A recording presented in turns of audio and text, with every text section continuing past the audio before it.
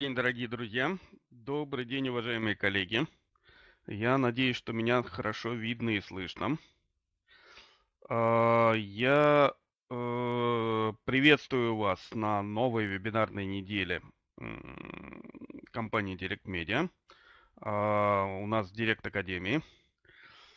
И сегодня наша тема, э, тема диссертации «Как выбрать, обосновать и писать с удовольствием». Проведет сегодняшний вебинар Наталья Логачева наш постоянный, э, постоянная ведущая.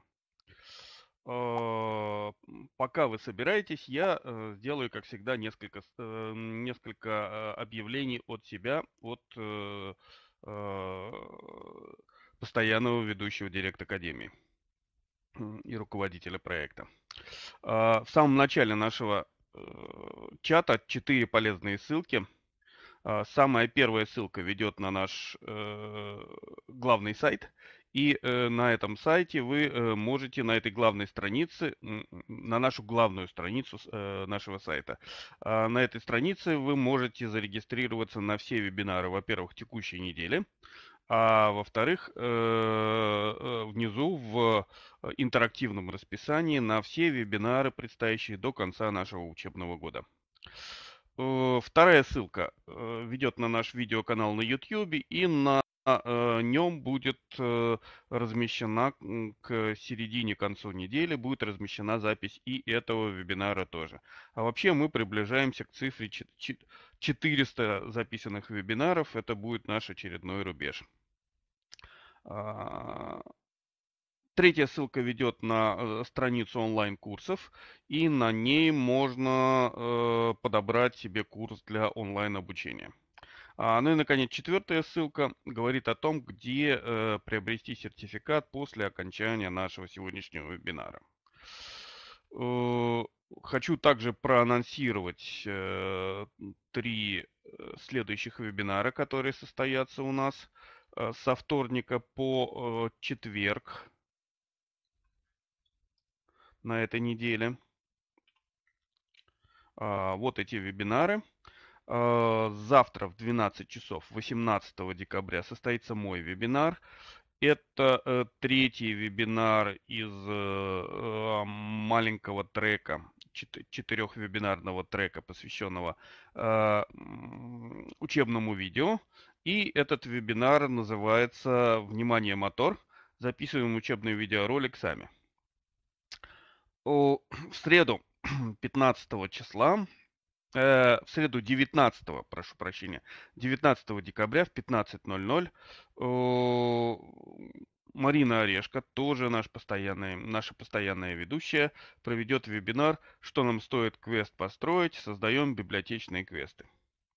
А, наконец, 20 декабря в 12 часов состоится последний вебинар из э, э, триады вебинаров, которые э, делает компания Степик.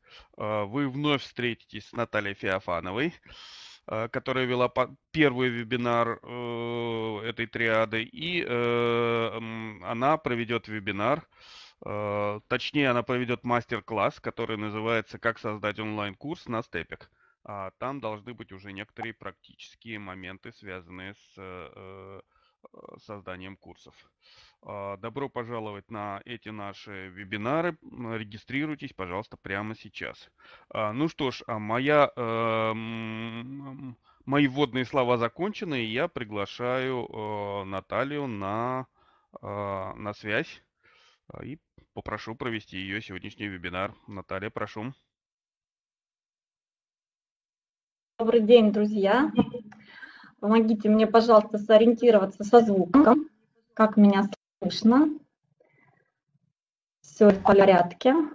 Отлично. Спасибо. Спасибо большое.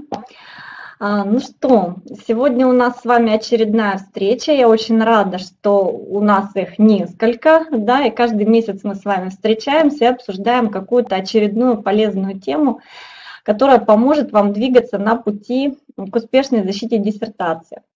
Прежде чем ее защитить, сначала нужно тему определить. Да?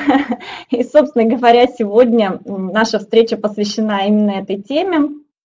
И а, не знаю, присутствуют сегодня все старенькие или кто-то новенький присоединился, поэтому буквально два слова обо мне. Я доктор экономических наук и веду проект, который помогает э, аспирантам, докторантам двигаться на своем пути к успешной защите, и поэтому делюсь с вами какими-то своими знаниями, опытом и так далее.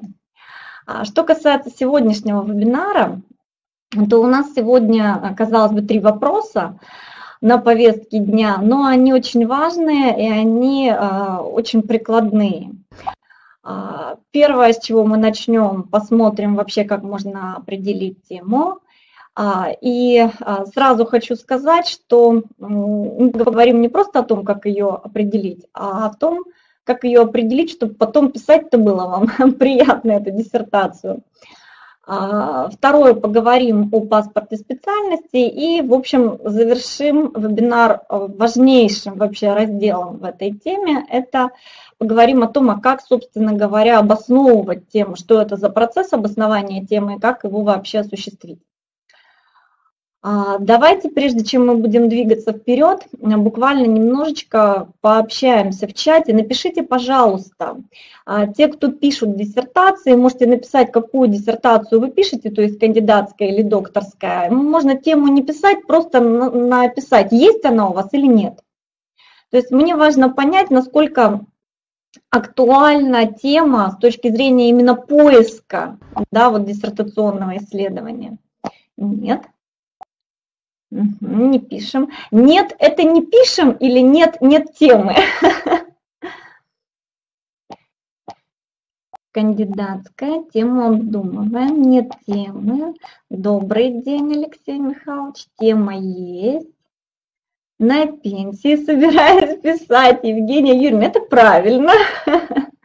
Нет окончательной формулировки, Ирина Альбертовна. Угу. Елена Андреевна поняла, да. Так, кандидатская формулируется, есть тема. Замечательно. То есть у нас есть участники, у кого уже этот вопрос в принципе решен, но а, пришли посмотреть, и может быть даже, возможно, что-то изменится, да, восприятие. А, тем нет, есть вектор, тема есть кандидатская уже за пять лет, уже пятая за пять лет. Алексей Михайлович, так вы просто мастер, видимо, по подготовке кандидатских. А, замечательно. Хорошо, друзья, а, давайте тогда посмотрим, что же с темой делать, да? Ну, на самом деле, а, часто для аспиранта а, я имею в виду аспиранта, который официально имеет этот статус, да, э, э, этот вопрос вообще не стоит. Меняется с ним, меняется тема. Все понятно. А, и для некоторых такой вопрос не стоит. Почему? Ну, потому что тема им просто предлагается. Да? Такой вариант возможен, но мы сегодня поговорим немножко о других моментах, хотя и это тоже э, так немножко коснемся этого момента. Итак, если вы э, только собираетесь писать работу или вот у вас есть необходимость э, найти тему, да, то очевидно, что нам надо с вами понимать, я сразу хочу сказать, что мы сегодня будем говорить не о любой теме научного исследования, а именно о теме диссертации. Э, поэтому здесь есть небольшие особенности, мы о них проговорим. А почему я рекомендую или я бы на вашем месте начинала с себя? Дело все в том, что диссертация – это достаточно длительный проект. Вы будете работать над этим текстом, изучать эту тему достаточно длительное время. И если эта тема, ну, вообще никак с вами не связана, да, то есть если она просто вам, вам была предложена, допустим, да, и вы просто вынуждены ее писать, это не всегда плюс для вашего пути. Потому что, да, может быть, вы этой темой увлечетесь, она станет в том числе и вашей, и все пройдет нормально, но очень часто бывает, что а, люди не доходят путь до конца именно потому, что они, что называется, надорвались с темой. То есть, ну вот не легла душа к ней, да, поэтому, конечно, имеет смысл посмотреть э, себя, а, понять, что мне вообще интересно да, в своей науке, которой я занимаюсь. Возможно, у вас уже были какие-то наработки по этой теме, может быть, у вас были публикации, может быть, у вас была предыдущая диссертация, и вы хотите продолжить, например, изучать эту тему, да? или ситуация может быть связана с вами как с практиком. То есть если вы а, а, занимаетесь практической деятельностью, и у вас есть необходимость внутри этой практической деятельности изучить какой-то аспект более детально, то вы, собственно говоря, можете совместить приятное с полезным, да, и, в общем-то, углубиться в тематику и а, параллельно написать по этой теме диссертацию. Такие варианты абсолютно возможны, и вот этот подход, когда мы придерживаемся своих интересов и своих уже имеющихся каких-то наработок, знаний, умений да, по какой-то сфере. Обычно такой подход достаточно результативный, потому что то, что интересно нам, то, что нас захватывает, оно не требует какой-то дополнительной мотивации в дальнейшем, чтобы заниматься этой темой. Да, мы сами просто по собственному интересу, по собственному желанию занимаемся изучением этой темы.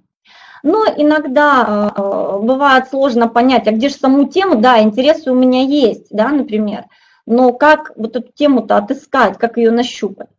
Ну, если вы практик и работаете вообще с практическими абсолютно вещами, то очевидно, что в практической деятельности встречаются часто э, такие моменты, проблемные моменты, спорные моменты, то есть такие э, практические казусы, может быть, да, которые, кстати говоря, теоретик вообще и не увидит. То есть не касаясь этих вопросов практической деятельности, например, если бы вы спросили тему у научного руководителя у своего, он ее мог не увидеть, если он не является практиком. Поэтому вот первый вариант выбора темы, он очень замечательный. Почему? Потому что вы точно понимаете, что эта проблема существует. То есть вы ее не выдумываете, вы не, не пытаетесь понять, а вот может быть вот это взять или вот это взять, а вы точно понимаете, что эта проблема есть, что она существует в реальной практике, и неплохо бы с ней разобраться. Второй вариант, а, он годится для ситуации, когда вы а, ну вот вообще только что закончили вуз, например, да, недавний студент, вы еще не можете сами разобраться а, в специфике тех научных тем, которые а, имеет смысл брать, и не можете спрогнозировать, защищаемая ли эта тема, да, тогда, конечно, можно обратиться за помощью к научному руководителю. Но, друзья, если вы э, захотите пойти этим путем, то однозначно что нужно сделать? Никогда не приходим к научному руководителю просто с вопросом, а подскажите мне, чем бы мне заняться, да, но это выглядит как-то странно. То есть, естественно, в любом случае мы приходим с какой-то идеей, и несмотря на то, что э, часто аспиранты, докторанты на это даже не надеются, они понимают, что это не нужно – а аспиранты очень часто э, думают, что они придут к научному руководителю, и научный руководитель просто даст им тему. Скажет, ну вот либо такую бери, либо такую. Так бывает? Да, конечно, бывает. А, но вопрос опять же, э, вас эта тема греет, вам эта тема интересна, она однозначно будет из поля э, научных интересов самого научного руководителя. Это плюс, потому что в этом случае научный руководитель сможет вас как-то ориентировать лучше. Но с другой стороны, а, вот здесь надо внимательно подойти к этому выбору, насколько эта тема подходит вам. А вдруг она для вас совершенно новая, вам совершенно с нуля надо да, двигаться. То есть тут нужно взвесить все за и против. И а, лучший вариант, когда все-таки вы приходите с идеей, с каким-то может быть, даже с какими-то, пусть простыми формулировками, которые вам было бы интересно вот эту тематику исследовать, да, а ваш научный руководитель, как более опытный ваш партнер по пути подготовки диссертации, он поможет вам эту тему а, даже не только, не то чтобы откорректировать, да, потому что формулировку можно позже сделать красивую, а именно поможет понять вам вот то направление, куда эту тему стоит развить, для того, чтобы эта тема была яркой, для того, чтобы эта тема обладала хорошим уровнем новизны и так далее. Поэтому вот э, три варианта, да, если совсем примитивно говорить, сами придумали, э, исходя из своего понимания знаний там имеющегося материала, спросили у научного руководителя или сделали это вместе. Но дело все в том, что если бы было так все просто, то ну, вообще никаких проблем бы не было. На самом деле, раз мы говорим с вами о диссертации, а не просто любом научном исследовании, то здесь есть безусловная особенность. А, причем особенность очень существенная, и если мы не будем учитывать это обстоятельство, мы можем столкнуться а, с не очень приятными моментами а, в будущем. А, скажите мне, пожалуйста, друзья, какая особенность, по вашему мнению, пока мы еще не рассмотрели ее, есть у темы диссертационного исследования? Вот что в ней такого вот Андрей Семенович просто в точку, замечательно, соответствие темы и паспорта специальности. Ирина Анатольевна, замечательно, новизна. Еще, друзья, бросайте идеи, давайте мы посмотрим, все варианты, ведь не только это, да? Еще что у нас с темой должно быть? Еще, еще. Есть идеи?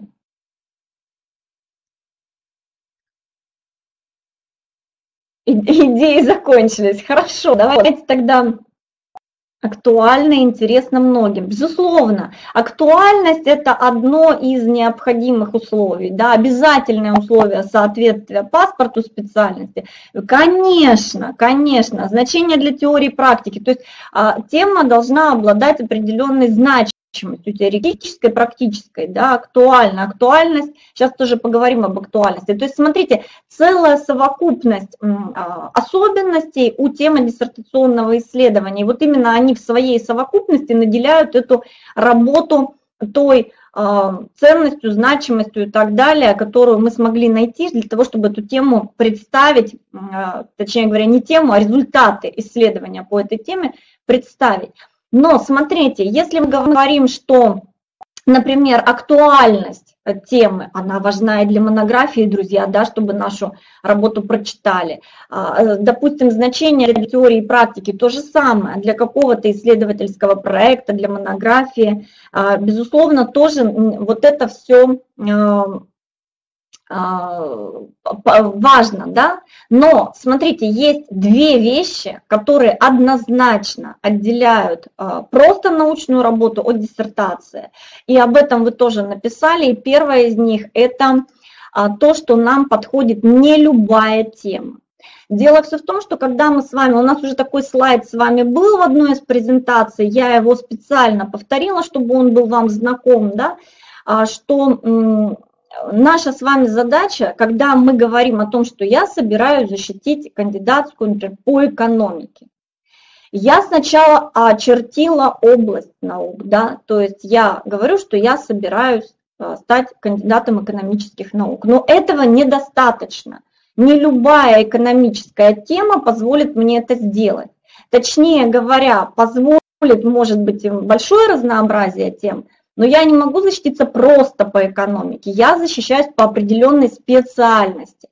И поэтому вот этот большой круг, это область исследования, которая ограничивается паспортом этой специальности, а ваша тема должна уложиться в этот паспорт. И ни у одного эксперта, ни у тех экспертов, которые будут читать а, вашу диссертацию в диссертационном совете, ни у тем более экспертов ВАК не должно возникнуть ни малейшего сомнения, что ваша тема именно в этот паспорт специальности укладывается. Итак, давайте чуть подробнее по паспорту специальности.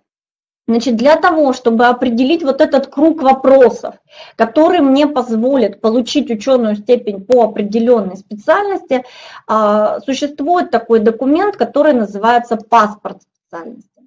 А, где этот документ можно искать? На самом деле, если вы знаете шифр своей специальности, то никак, или там ее точное название, никаких проблем нет, ее можно найти просто через поисковик. То есть вы можете задать а, там, в Яндексе, в Гугле, где угодно. Паспорт специальности такой-то, написать шифр ее и получите документ.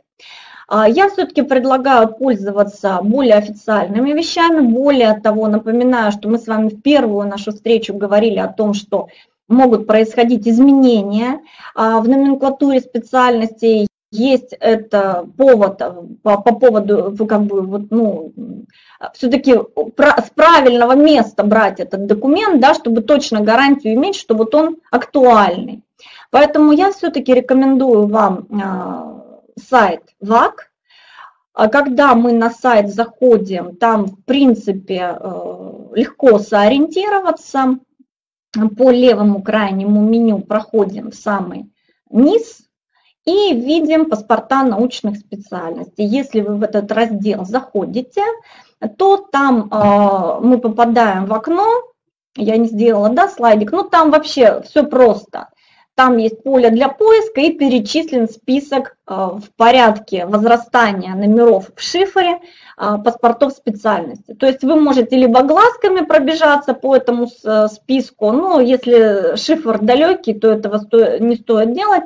Просто в строку поиска заносите цифры или название вашей специальности и получаете паспорт. Паспорта там размещены в полном тексте, да, и, соответственно, э, вы можете ознакомиться с, со всеми особенностями, которые есть в вашем паспорте. А, что такое паспорт вообще? Паспорт специальности – это как раз документ, который закрепляет вот эту область исследования. И если вы пишете диссертацию по этой исследовательской сфере, то вам присуждается соответствующая ученая степень. Паспорт специальности утверждается ВАК, размещается на их сайте и, соответственно, вы можете с ним ознакомиться. А когда стоит обратиться к этому документу? Вот, честно говоря, чем раньше, тем лучше. Уж однозначно в тот момент, когда вы собираетесь работать с а, темой, определять тему, вот просто паспорт специальности должен лежать рядышком с вами, чтобы вы постоянно могли на него глазками посмотреть и прям выверять, да, подходит, не проходит и так далее. Что такое паспорт специальности, из чего он состоит? Сразу хочу сказать, друзья, что паспорта специальности очень разные. Я сейчас приведу парочку примеров для того, чтобы более эта разница была очевидной. Но, и опять же, структура у паспорта специальности, она не фиксирована. То есть то, что представлено на слайде, это совершенно не означает, что вот прям все-все-все эти пункты там в паспорте будут. Я сейчас вам э, покажу примеры, будет ясна разница. А то, что будет точно, абсолютно в любом паспорте. Первое, это будет шифр специальности, это те цифры, которые стоят перед названием вашей специальности, они будут отражены и в вашем автореферате, и в диссертации, да, на титульном листе, то есть вы и кроме того, вы будете диссертационный совет э, подбирать ровно тот, который позволяет защищать работы по этой специальности конкретной. Да? Второй момент – это формула специальности. Что такое формула специальности? Вот там как раз в этом разделе и описывается сфера, то есть она ограничивается вот в этом разделе а, конкретизируется, если хотите. Да? Э, кроме того, если ваша специальность похоже с какой-то специальностью. Ну вот я конкретно выбрала две специальности, которые как раз в эту ситуацию попадают. Это специальность 082005 э, экономика управления на предприятии, на экономика управления там чего-то. Там сейчас сходу не скажу, да. И 082001 это экономическая теория.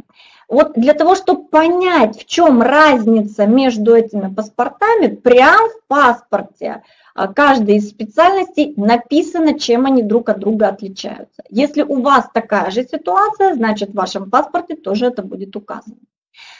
А, в некоторых паспортах, почему говорю, что а, в некоторых, потому что многие паспорта уже мы рассматривали с участниками моих программ, бывают указаны объекты, предметы исследования. Но в некоторых этого нет. Что это для вас означает? Если предмет и объект исследования в паспорте указан, это означает, что для вашей специальности он конкретизирован. И когда вы будете их формулировать, вы должны ориентироваться опять-таки на паспорт вашей специальности. Вы не можете написать что-то отклоняющееся от этого, потому что в вашем случае объект и предмет конкретизирован. Если же, если же а, нет ни объекта, ни предмета, значит вы самостоятельно или там с помощью научного руководителя, научного консультанта а, формулируете объект и предмет, просто опираясь на вашу тему, на вашу сферу исследования и так далее. А, еще одним разделом паспорта специальности является область исследований. Область исследований – это такие конкретные пункты, то есть получается, что вот эта исследовательская сфера, она разбита еще на какие-то кусочки, да, на, на группочки такие. И вот каждая из этих маленьких групп конкретная, она называется область исследования.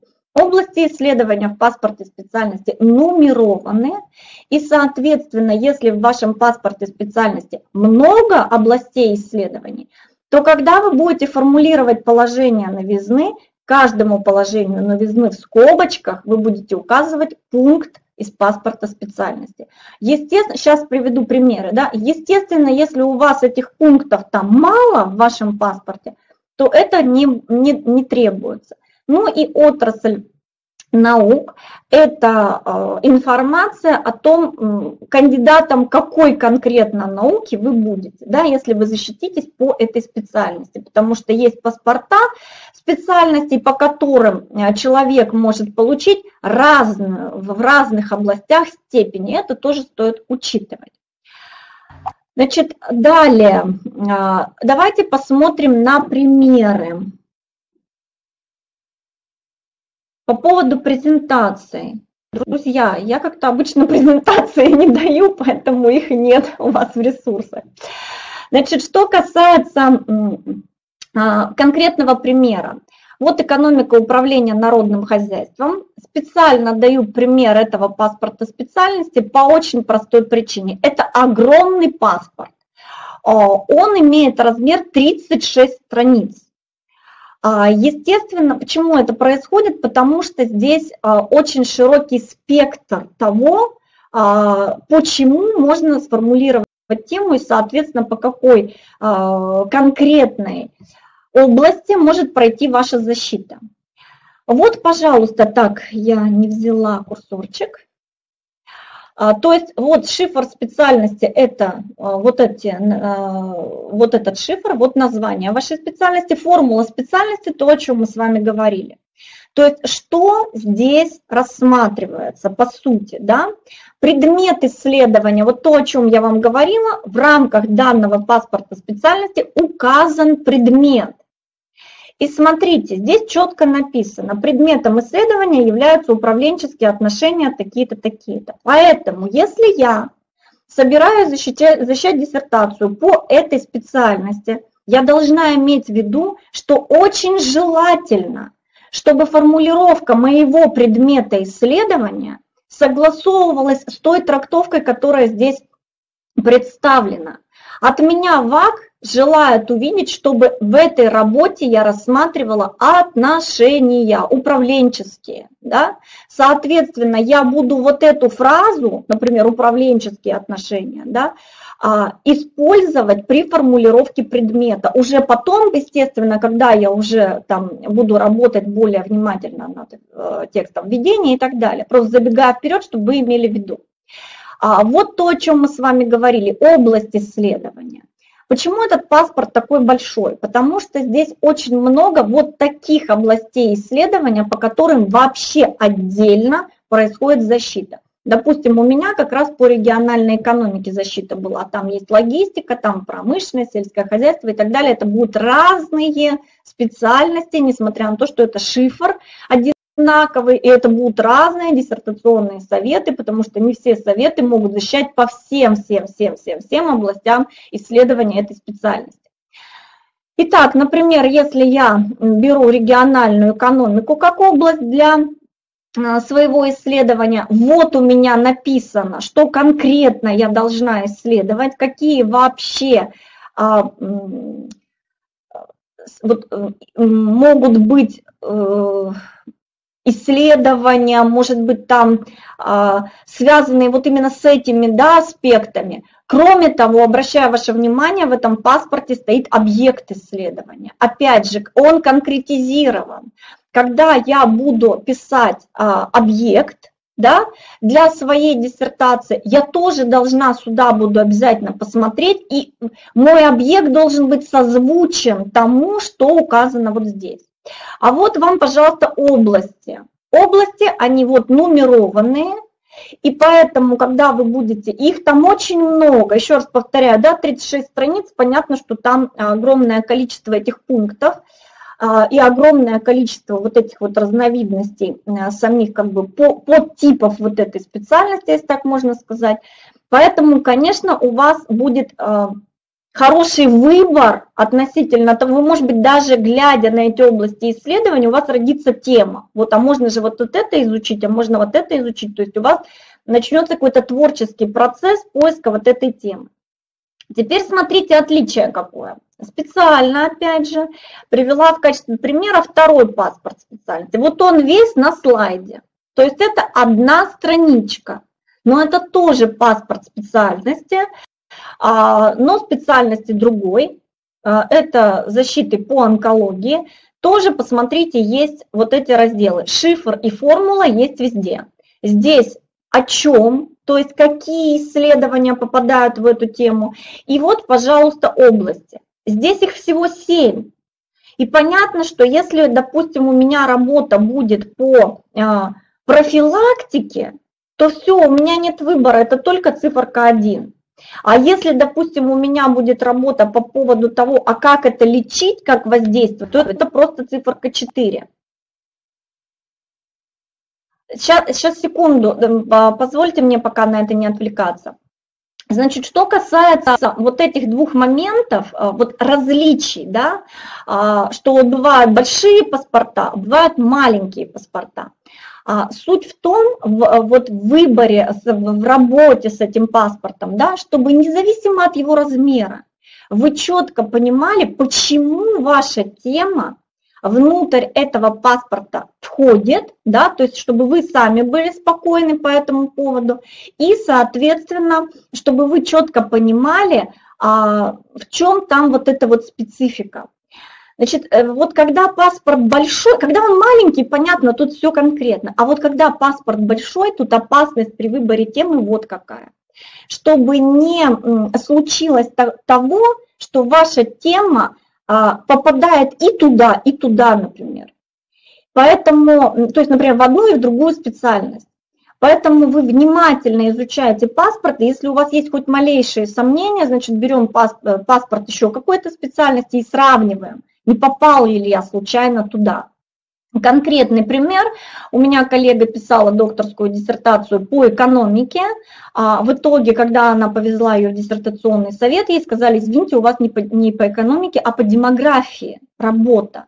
И когда открыли две спец... она тоже даже она не открывала этот спец... Э, паспорт по демографии для того, чтобы сравнивать. Ну, то есть пишет человек по экономике и пишет, она считает, что вот это работа экономическая, как будто бы она туда входит, в этот паспорт. А оказалось, что там очень большие пересечения со вторым паспортом. Поэтому вот здесь очень внимательно мы работаем, потому что мы с вами а, должны а, четко тему, когда мы с вами выбираем, мы с вами четко должны понимать, а, почему именно такая формулировка, потому что формулировка у меня должна обязательно уложиться вот в этот паспорт специальности.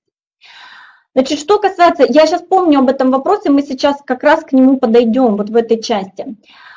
А, это, Андрей Семенович, я вам э, отвечаю. Да? Значит, что касается обоснования, вот то, что мы выбираем тему, что она нам нравится, что она там в паспорт уложилась, это все прекрасно, замечательно, это обстоятельства, которые нужно учитывать, конечно, но а, мы должны четко знать, что с нас потребуют, э, ну, потребуют, не потребуют, сейчас определим, да, а провести такой процесс, который называется обоснование темы диссертации. Что это такое? То есть что значит, что я должна обосновать тему диссертации? Я же ее выбрала, она мне нравится, она и в паспорт входит. Что вы от меня еще хотите, да, думает аспирант. А, поэтому давайте чуть подробнее разберемся вот с этим моментом. Значит, обоснование темы представляет собой, ну, я не могу сказать, что это вообще абсолютно разные вещи, да, но возникнуть необходимость может быть по-разному. Значит, во-первых, имеет смысл обосновать тему просто для себя, да, то есть чтобы вы точно понимали, что да, у меня хорошая тема, она по определенным критериям, которые указаны прямо на этом слайде, она проходит, да, и, соответственно, все нормально. Второй момент. Вас могут обязать провести эту процедуру, потому что вас отдел аспирантуры может попросить, ну не может, просто в некоторых вузах это есть, в некоторых вузах такого документа, как отдельного документа нет, а, могут запол... попросить заполнить документ, который так и называется «Обоснование темы диссертационной работы». Друзья, а, у кого а, уже есть опыт, напишите, пожалуйста, в вашем вузе существует такая форма или нет? В чате напишите, пожалуйста.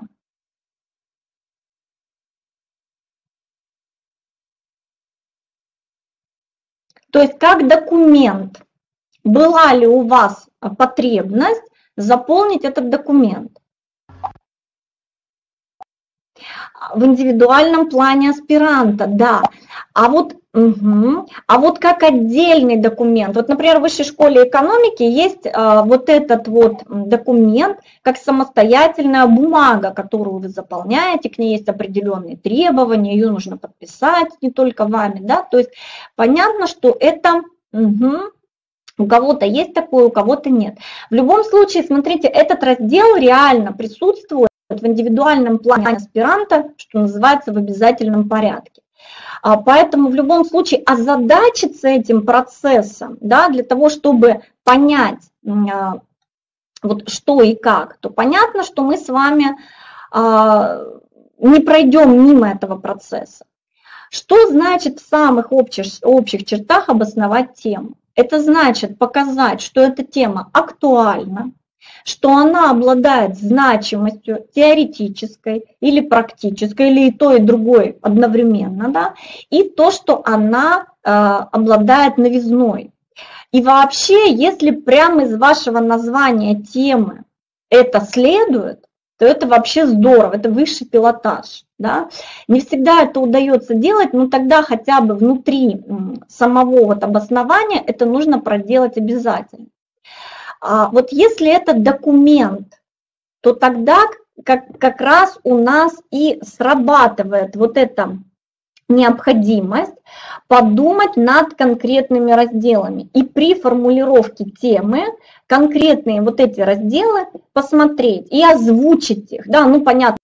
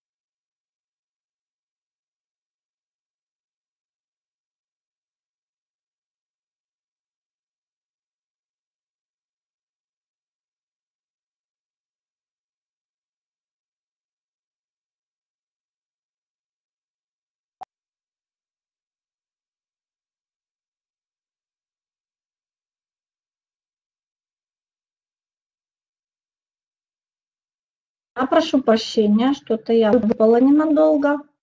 Как у нас звук? Подскажите мне, пожалуйста, все ли в порядке, можно продолжать. Угу. Спасибо, спасибо. Итак, благодарю, друзья.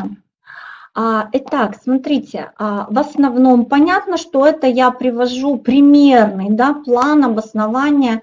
Обычно, если это документ, то он содержит внутри себя конкретику, и вам будет легко сориентироваться, что именно нужно писать. Но если а, этого у вас документа как такового нет, и вам нужно просто написать текст, э, вас просят обосновать, то вы можете вот этого плана придерживаться. Итак, актуальность, безусловно, сейчас чуть позже поговорим об актуальности. Цели, задачи, исследования мы а, прописываем, ориентируясь на паспорт. Вот почему я сказала про предмет и объект, поговорим чуть позже, потому что вот сейчас как раз об этом. Значит, когда мы с вами формулируем объект или предмет исследования, и они у нас, еще раз повторяю, прописаны в паспорте специальности, то мы, безусловно, ориентируемся на паспорт. Если они не прописаны, то мы ориентируемся на что? Мы помним об их соотношении, что предмет исследования уточняет объект. Он как бы сужает границы, вы конкретизируете. И вот это самое главное, чтобы вы при определении того, что является объектом исследования, внутри этот предмет более мелкий, скажем так, да, вы его определили. И поэтому вот хотя бы о соотношении и о попадании в сам паспорт мы помним. А, еще один момент. Рабочая гипотеза. Это не всегда э, необходимо, но если она важна, и вы хотя бы... Вообще это здорово, если она у вас есть. Даже если ее не требуют в рамках обоснования, постарайтесь, прежде чем сформулировать тему, понять, а что вы об этой теме сейчас пока можете сказать, что такое гипотеза, это какое-то предположение относительно, да, то есть изначальное представление о том, как это будет. Может быть и не так, но изначально у вас есть какое-то представление об этом. Поэтому набросайте несколько вот этих вариантов и выберите наиболее яркую или наиболее правдоподобную с вашей точки зрения гипотезу. А что такое предполагаемая новизна? Ну, конечно, очень сложно предположить заранее, да, что там у меня будет нового. Но сейчас мы с вами проговорим, как можно а, обосновать, какие инструменты есть обоснования темы, и это станет чуть более ясным. Методология, методика исследования тоже понятное дело, что в документе, если они есть, вы их прописываете. Если их в документе нет, то вот прям прямого отношения к обоснованию они имеют только тогда, когда например, и, и вашей новизной или вашей отличительной особенностью вашей работы и является новое, например, а, приложение методики к вашему объекту или к предмету, тогда, конечно, об этом нужно написать. Ну и вот этот раздел про практическую теоретическую значимость, ну, желательно опять, ну, если он есть, понятно, нужно будет писать, но если его нет, в любом случае постарайтесь подумать, когда вы определяете тему, а кому бы эта работа была интересна, полезна, может быть, да, может быть, каким-то структурам, может быть, каким-то предприятиям, может быть, каким-то организациям. То есть кому бы вы хотели показать свою работу, и так вы сможете понять ее практическую значимость, кому и чем она может быть полезна. Одно из самых главных моментов обоснования темы – это обоснование ее актуальности. По сути, нам надо доказать, что эту тему имеет смысл изучать именно сегодня, именно сейчас, что она востребована или в самой теории, а, в рамках той науки, в которой вы будете защищаться, либо на практике существует потребность вот ее изучить.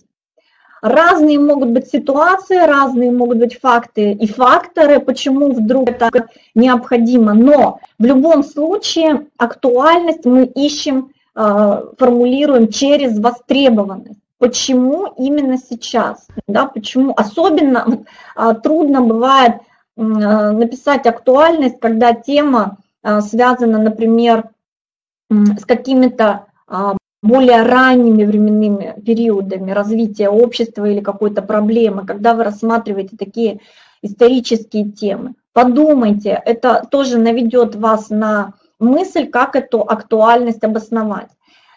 А что касается актуальности, она может возникнуть из-за того, что общество развивается, изменяются какие-то факторы, причины, условия развития и так далее, и становится необходимо решение какого-то вопроса или решение какой-то проблемы. То есть вот в эту сторону посмотрите, если вам сложно сходу понять актуальность вашей темы.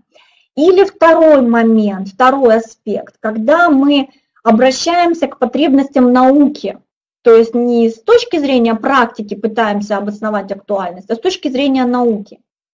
А опять же, почему, например, именно сейчас необходимо рассмотреть эту проблему? Может быть, изменилась законодательная база, может быть, изменились какие-то требования, может, изменились там технические какие-то условия, да, в зависимости от того, какова специфика. А может быть, я не знаю, сейчас уже не лечат так пациентов, и вы рассматриваете эту тему и так далее. То есть на самом деле, если мы обратим внимание на вот эти два аспекта, э, то мы практически в 100% случаях отыщем, почему эта тема для нас сейчас актуальна. Что касается сложности, да, вот иногда, ну не приходит это обоснование в голову. Бывает такое, ничего страшного нет. Что мы для этого делаем? Мы для этого начинаем смотреть работы, которые защищены были до вас. А, когда вот я начинаю об этом рассказывать, многие говорят, ой, нет, так я же там вот почитаю, и у меня потом возникнет ощущение, что уже все вообще изучено, предложено, написано, и у меня идей не останется. Друзья, ну вы не читайте тогда в таком случае диссертация. Я не говорю, что нужно диссертация прочитать, да? Нужно посмотреть, ну, посмотрите авторефераты, посмотреть их бегло. Вот. Нам это необходимо сделать по какой причине? Потому что иначе полноценного обоснования у вас не очень-то и получится. Потому что даже если вы актуальность написали, да, что вот да, сейчас очень важно эту тему рассмотреть. А может быть, ее уже кто-то рассмотрел, допустим, там в этом году, и он уже собирается защитить диссертацию, а вы только собираетесь ее писать. Для того, чтобы на этот вопрос ответить, надо понять, а какие работы вообще защищались последние там. Ну, кто-то предпочитает за 10 лет смотреть. Я считаю, что это очень много. Можно вообще пятью годами, 3-5 лет, можно 5-7, в зависимости от вашего желания, времени и возможностей. А, наша задача в чем состоит? Не, не прочитать все эти работы ни в коем случае.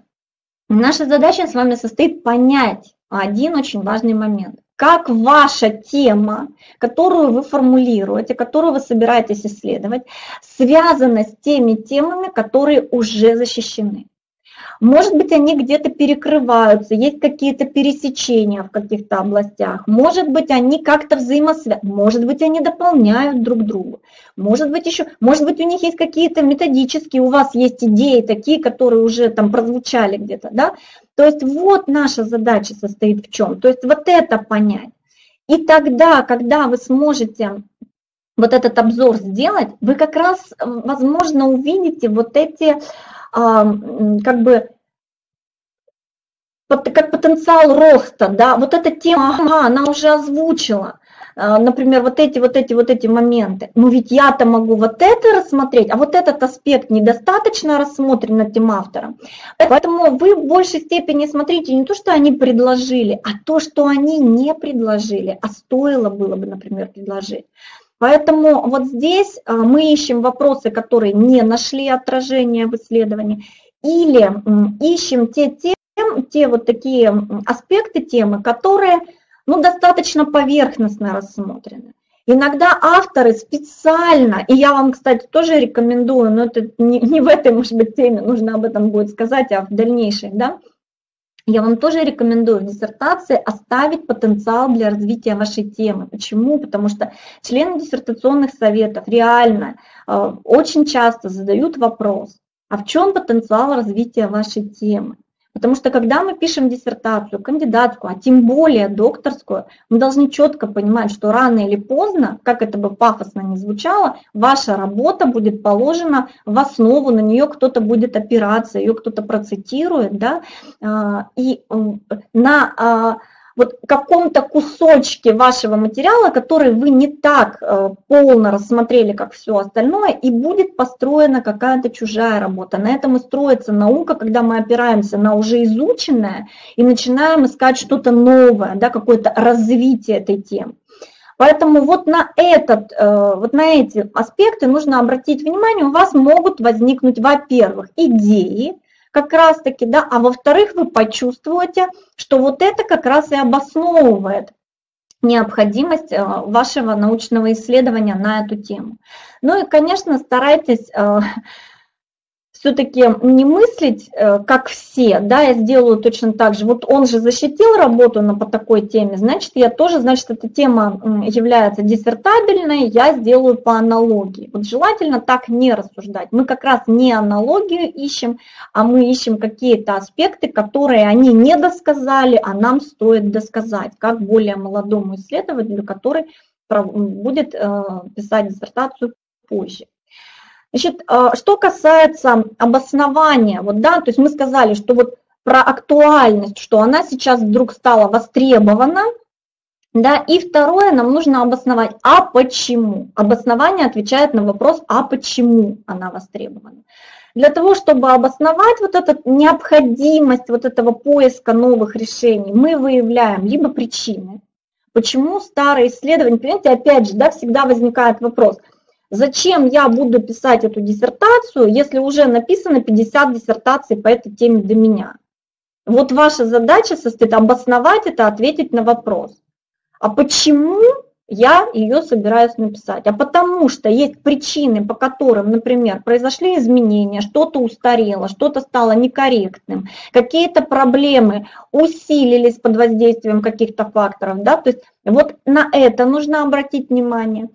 И а, еще один аспект, безусловно, наши с вами потребности, наше общество, и все постоянно развивается. Мы являемся частью вообще э, огромного сообщества различных взаимосвязанных там процессов, а, и, соответственно, тоже могут происходить различные изменения, и мы их тоже должны учитывать. Они тоже будут требовать решить ту или иную проблему новыми способами. Новые технологии возникают, новые потребности возникают и так далее. Ну и, естественно, когда мы говорим обосновать необходимость э, э, провести исследование по какой-то теме, мы помимо актуальности должны понимать, что ваша тема должна быть проблемной.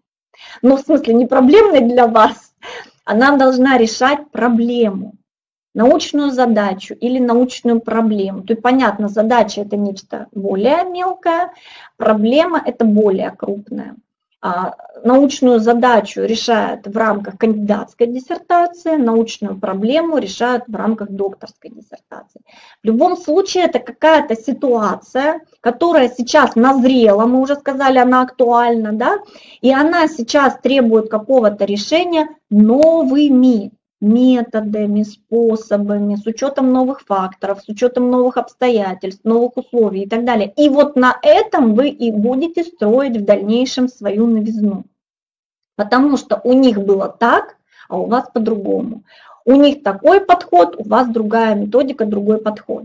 Соответственно, чтобы так в дальнейшем рассуждать, нам надо сначала понять, а как было у них. И это и будет обоснованием того, что необходимо – вот это исследование по этой теме все-таки проводить. Где эти работы искать? Это зависит от того, по крайней мере, два места я вам покажу. Наверняка вы с этими ресурсами работаете, но у них есть определенные особенности поиска, поэтому я их озвучу. Значит, а, защищенную работу можно поискать на сайте Российской государственной библиотеки. Поставьте пятерочку, кто этим ресурсом пользуется я просто хотя бы представляла, что вы интерфейс представляете замечательно. Всего пять человек. Друзья, вы скромничаете сегодня. А, уверена, что больше людей использовали этот ресурс. Угу. Значит, смотрите, здесь очень все удобно, очень все понятно. Когда вы заходите на сайт Российской государственной библиотеки, там есть а, в горизонтальном меню раздел читателям. Когда мы туда заходим, там есть раздел каталоги. И вот в этом разделе, сейчас интерфейс немножечко изменился, я не стала загромождать презентацию слайдами, если что-то будет непонятно, вы мне сможете задать вопрос. Когда вы зайдете в каталоге, а, по-моему, правый верхний квадратик такой будет, который ваш как раз. Вот, и все, и там обычная строка поиска вы задаете и ищете. В чем плюс этого ресурса?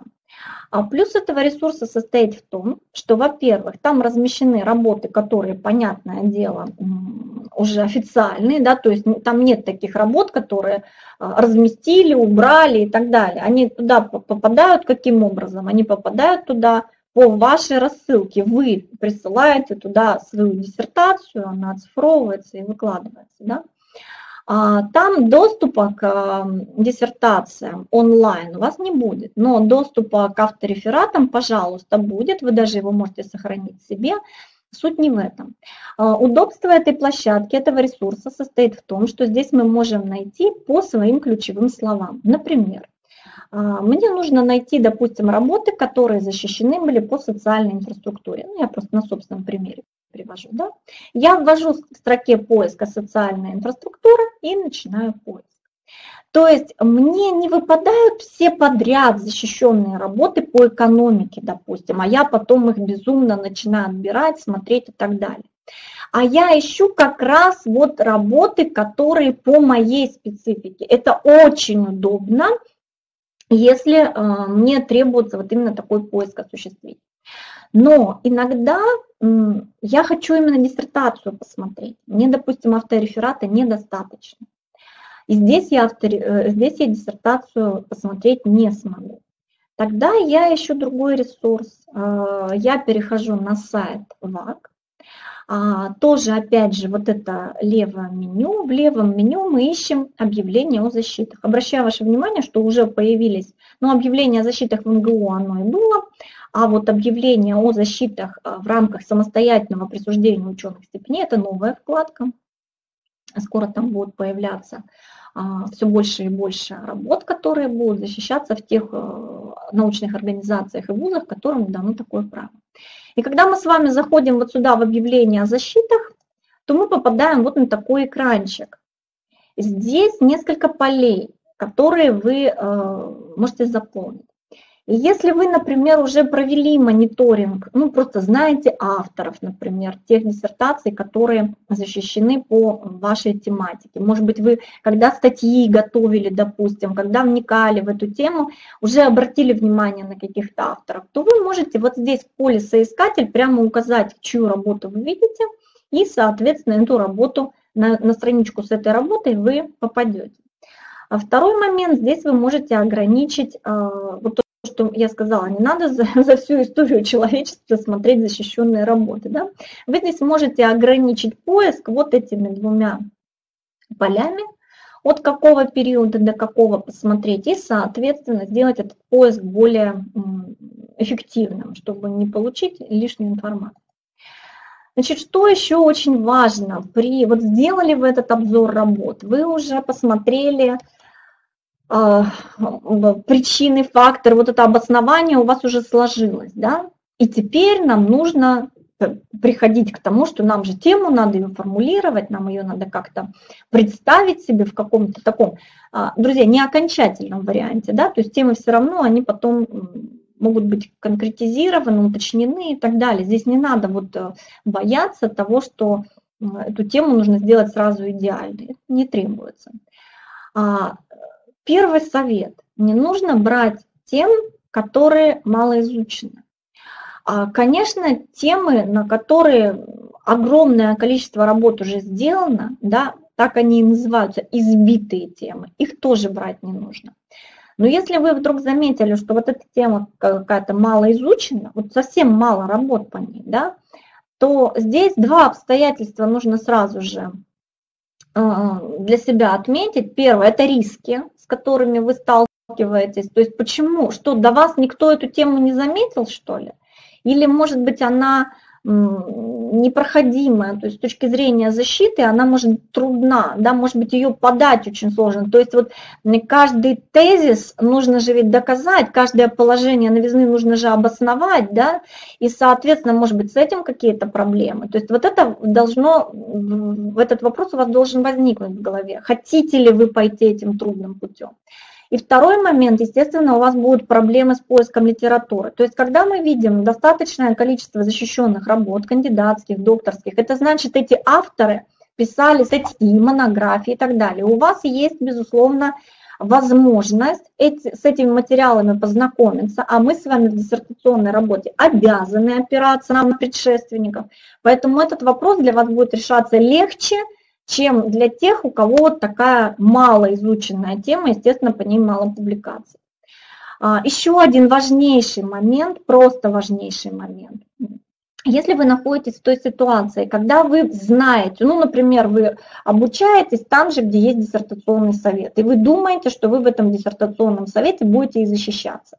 Или, предположим, ваш научный руководитель там является членом какого-то диссертационного совета, он вам сказал, естественно, будем защищаться здесь. То есть, предположим, вы уже, у вас еще темы нет, а вы уже знаете, в каком диссертационном совете вы будете защищаться. Так бывает, это замечательно.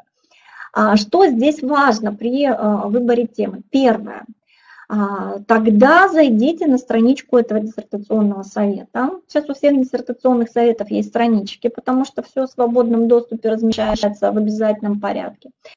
И посмотрите, какие диссертации в этом совете были защищены. Есть ли там какая-то специфика формулировки тем? И вот когда вы внимательно посмотрите, выяснится, что да, темы какие-то, вот там есть что-то общее в этих темах. И тогда вам будет гораздо проще тему сформулировать, потому что вы будете на какой-то образец а, ориентироваться. И чаще всего существует такое, что в диссертационном совете вот, любят, например, с практическими аспектами темы, или вот темы, которые вот именно так формулируются, содержат такие-то слова, например. Да, обратите внимание, это очень вам может помочь в процессе именно формулировки темы, уже не поиска темы и обоснования, а именно в процессе ее формулировки. А так как вот малоизученные темы не очень хороши, точно так же не хороши и широкие темы. Почему? Эта тема кажется необъятной. И когда, особенно когда вы пишете кандидатскую диссертацию, сначала кажется, ой, так я тут и о том, и о том, и о том, и о том, и о том, но получается, что вы об этом о том, о том, о том настолько помалу и настолько поверхностно, а если вы не рассмотрите, то, казалось, то, то будет казаться, что половина темы не изучена. Поэтому не надо замахиваться, лучше пусть тема будет достаточно конкретная, самое главное, она должна быть вам понятна, что вы в этой теме собираетесь говорить, исследовать, представлять какую новизну, какую значимость и так далее. Что касается актуальности, еще до того, как вы формулируете тему, только в тот момент, когда вы ищете сферу, в которой вы будете, да, какую-то область исследовательскую, сразу вот эту актуальность нащупываете.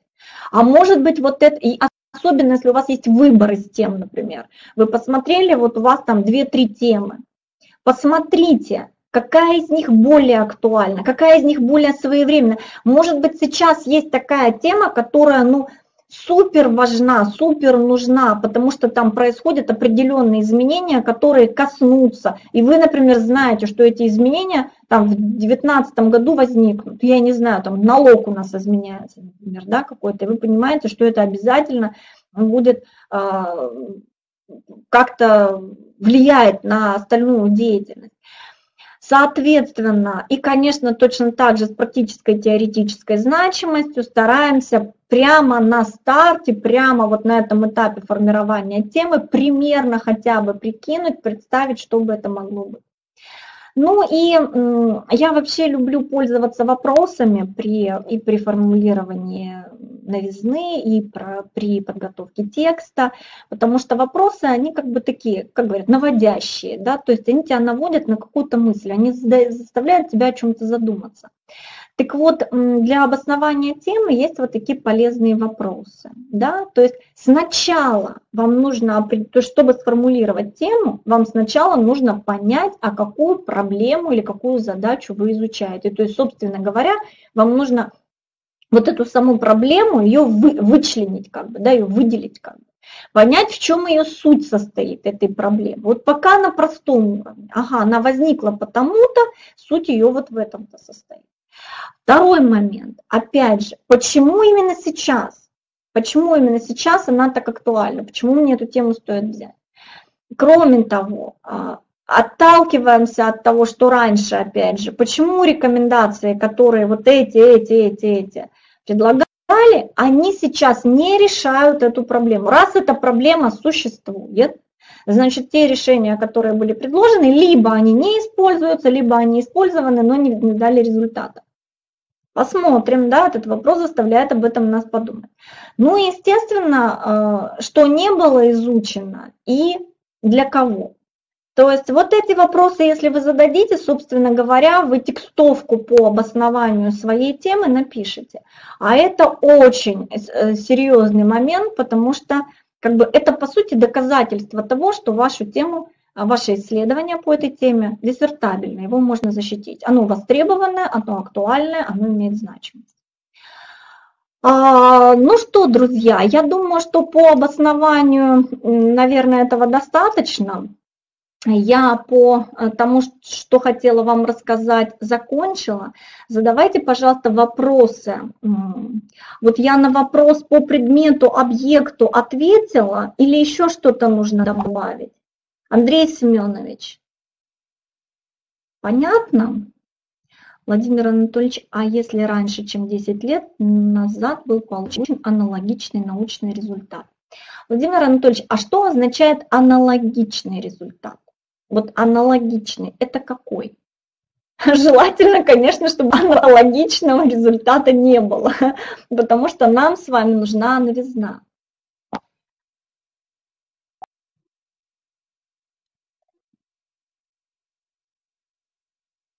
Презентацию нет возможности скачать, Евгения Юрьевна.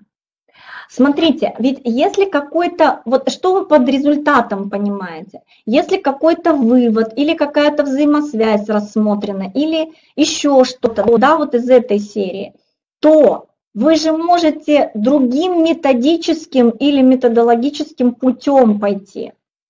Либо посмотреть, опять же, если этот результат уже получен, а посмотрите, а что еще вокруг этого не получено. Расширьте немножечко границы а, того, куда вы смотрите, на ту работу, которую вы смотрите, да, то есть что и именно. Вот если у вас вопрос такой, что называется наболевший, вы мне можете на электронную почту написать чуть более подробно. Я вам постараюсь пояснить. Хорошо? Владимир Анатольевич. Друзья, а, я прошу вас буквально в двух словах, дайте мне обратную связь. Стало ли понятно, что такое обоснование темы, чем отличается от поиска актуальности, и вообще с темой стала ли более понятна ситуация? Может быть, еще что-то осталось, и вот какие-то вопросы вы задайте, пожалуйста, у нас же не последняя тема, да, может быть, я постараюсь озвучить.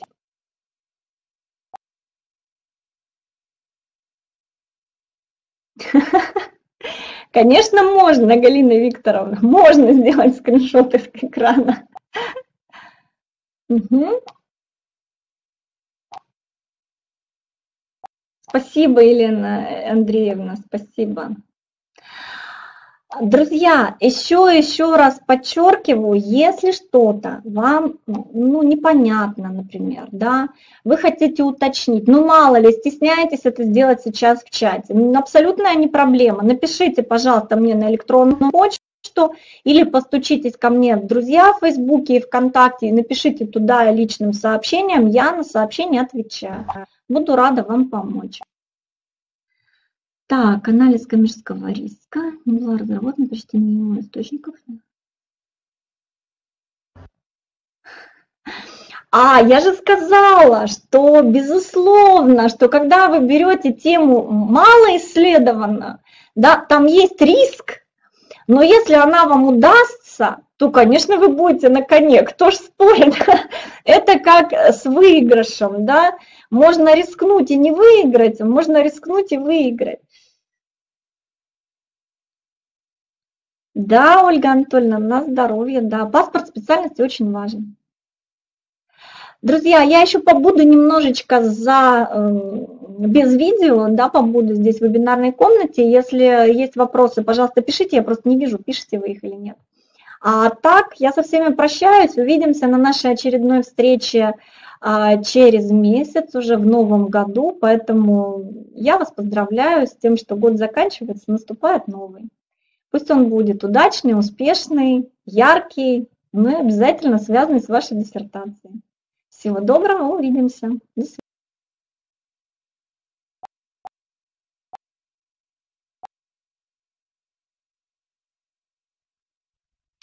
А, ну, а директ Академии пока не поздравляет вас с Новым годом. У нас еще насыщенные две недели э, впереди э, наших вебинаров. Вот мы еще успеем вас поздравить с Новым годом. Э, ну что ж, я надеюсь, сегодняшний вебинар был для вас полезен. Я э, благодарю э, Наталью Модестовну за, как всегда, успешный и замечательный вебинар. Вас зову на наши мероприятия, которые состоятся на этой вебинарной неделе. И еще раз напоминаю, что сертификаты... Ой, прошу прощения, я два раза продублировал. Сейчас я Э, еще раз размещу информацию о сертификатах, можно приобрести вот здесь. Они уже э, сформированы, э, и, те, кто посетил мероприятие, могут их приобрести. А, ну что ж, коллеги, до новых встреч с Директ Академии. А, я всегда рад вас видеть на наших вебинарах. Приходите, будет интересно. До свидания.